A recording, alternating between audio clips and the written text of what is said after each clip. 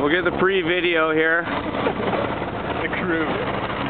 Here's here's our man of the hour here. Nice goggles. My goggles. Spotter guy. Team anti-safety. Driver. the guy who's gonna run him over, hopefully. It's gonna get Ah. more, more getting better, son. Ah. Shit himself on the yeah, that's Shit yourself on the fucking road. Burns when I not good, buddy. Yeah, let's get this fucking gong show on the road.